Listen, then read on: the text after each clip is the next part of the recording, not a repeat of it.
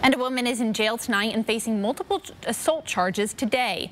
Last night around Sprague Avenue, 28-year-old Savanna Merrill walked up to a Spokane bus driver demanding an apology.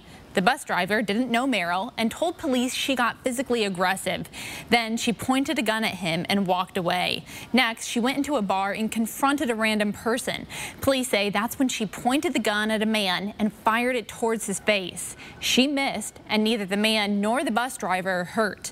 A bouncer at the bar stopped Merrill and got the gun away from her. When officers arrived and started to detain her, she fought back, kicking those officers. Eventually, they were able to get her into custody without using any further force.